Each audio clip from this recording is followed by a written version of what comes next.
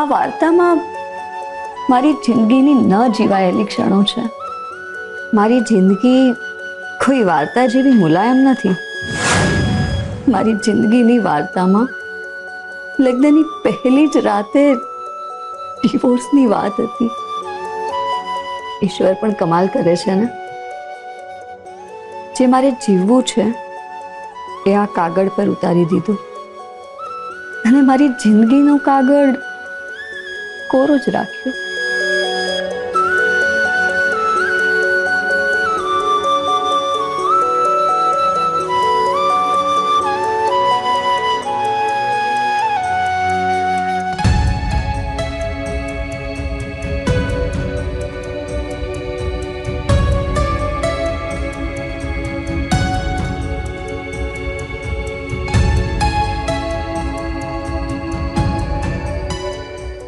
થોડી વાર માટે મારે મારી જિંદગીની વાર્તા ભૂલીને પેલી કાગળ પરની મુલાયમ વાર્તા જીવવી છે કેવી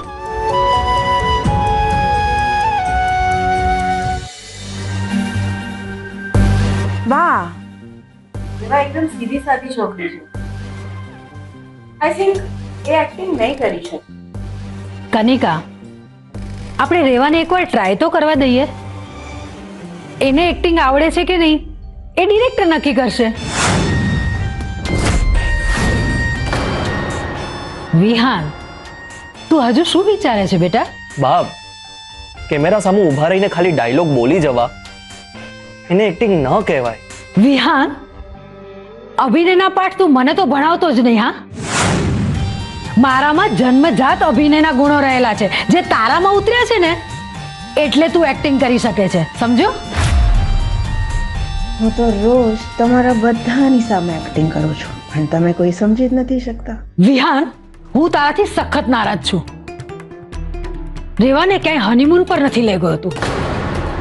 આખો દિવસ એ છોકરી ઘરમાં જ હોય છે હવે રેવાને જો એક્ટિંગ કરવી હોય તો તું ના પાડવા વાળો કોણ એને સૌથી પહેલા એક વાત બરાબર સમજી લેજે. આપણા ઘરનો રિવાજ છે, ઘરની દીકરી હોય કે વહુ, એને પોતાના મનનું કરવાની છૂટ છે. એના માટે કોઈની પરમિશન લેવાની જરૂર નથી. પોતાના મનનું કરવા માટે ના કનિકાએ ક્યારે કોઈની પરમિશન લીધી છે? ના રેવા કોઈની પરમિશન લેશે. રિયાન સર,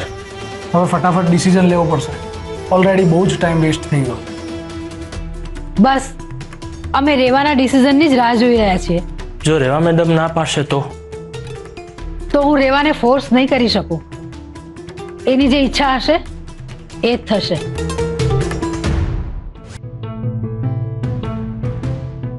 રેવા મેડમ આવી ગયા છે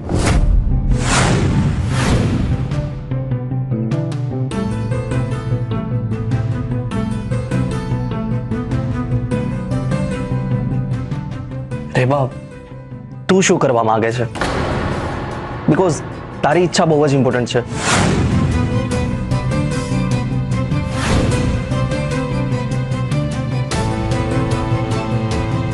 હું વિહાનની પત્નીનો રોલ કરવા તૈયાર છું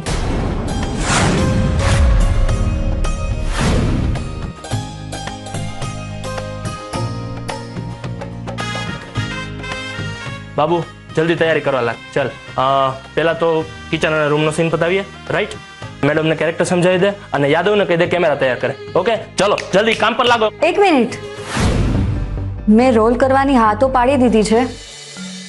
પણ મને સખત બીક લાગે છે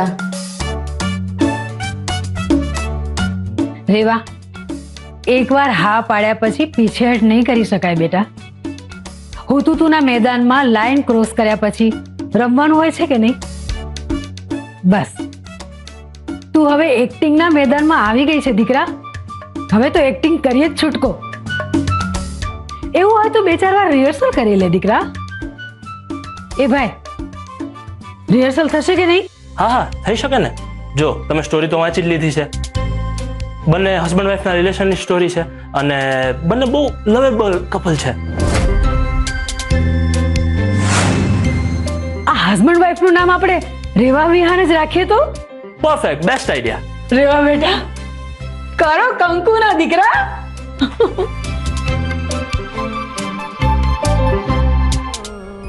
કુદરતે એને એની જ સાથે લગ્નના બંધનમાં બાંધી દીધી છે મારા માટે લગ્ન એટલે એકબીજા સાથે સુખી અને દુઃખી થવાની સફર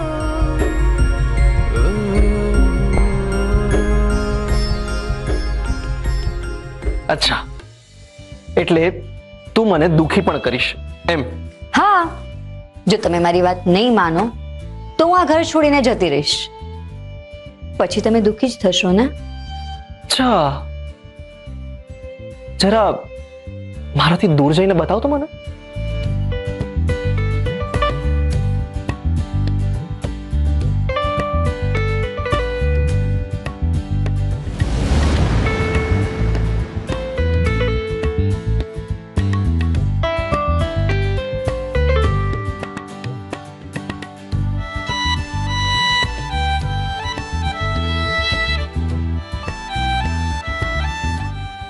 આ રિહર્સલ હતું મને તો ફાઇનલ શોટ લાગ્યો તો તારે કેમેરો ના લગાવાય મને થોડી ખબર હતી કે રેવા મેડમ રિહર્સલમાં જ પરફોર્મ સારું કરી દેશે તું જા બીજા સીનનું સેટઅપ કર કેમેરો લગાય જા જા આઈ એમ સરપ્રાઇઝ રેવા તે રિહર્સલ્સમાં જ વન શોટ આપી દીધો excellent I am so happy for you શું કહો છો સર અમેઝિંગ અમેઝિંગ આ વાર્તા આમ જ ચાલતી રહે તો આજ તો જીવવું હતું મારે લગ્નની પહેલી રાતે વિહાને આજ તો કહેવું હતું મારે વિદિશા દીદી મારે ત્યાં નજીક જઈને રિહર્સલ જોવા છે જવું તો મારે પણ છે પણ જો આપણે અત્યારે જઈશું ને તો દીદી નર્વસ થઈ જશે અરે પણ આપણે કોઈને ડિસ્ટર્બ નહીં કરીએ મારું બહુ જ મન છે પ્લીઝ જઈએ એ રેવા વિહાન પાસે નથી જવાનું હો કહી દઉં છું બંને જણીઓ અહીં જ રહેજો બા પ્લીઝ જવા દો ને અરે તમે લોકો ત્યાં જશો તો રેવા બિચારી પોતાના ડાયલોગ ભૂલી જશે પણ બા હજી તો રિહર્સલ જ ચાલુ છે ફાઇનલ શૂટ થવાનું તો બાકી છે હા અને બાબુ પણ કહેતો હતો કે રેવા ભાભીએ રિહર્સલમાં જ એકદમ ફાઇનલ શોટ જેવો સીન આપ્યો હતો એ પણ ડાયલોગ ભૂલ્યા વગર શું વાત કરે છે યસ બા તો તો હવે રેવા પાસે બિલકુલ ના જવાય હા આપણે ત્યાં જઈશું ને તો બિચારી બધું ભૂલી જશે અરે હમણાં શૂટિંગ ચાલુ થશે એટલે આપણને બધું જોવા મળશે જ ને ચૂપચાપ બંને જણીઓ અહીંયા જ ઊભી રહો નથી જવાનું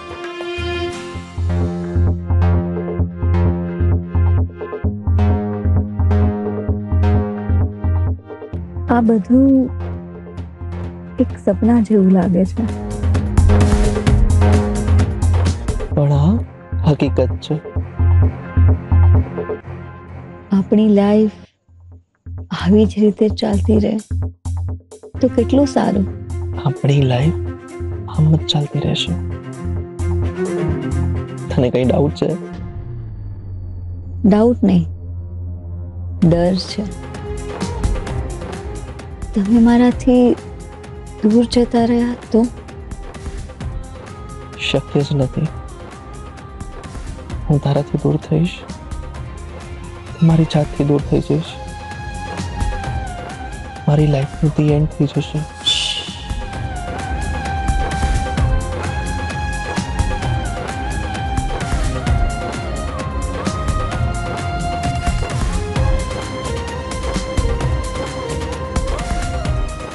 આવું નહીં બોલો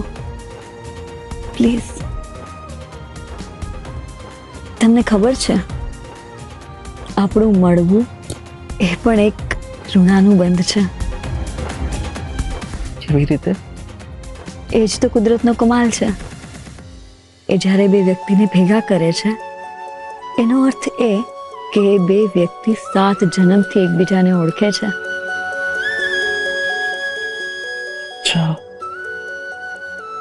એટલે તું સાત જન્મથી મારી પાછળ પડી છે. શું તમે પણ? હું કેટલી રોમેન્ટિક વાત કરતી હતી. અને તમને એમાં પણ મસ્તી સૂજે છે. જાઓ, મારે તમારી સાથે વાત જ નહીં કરવી.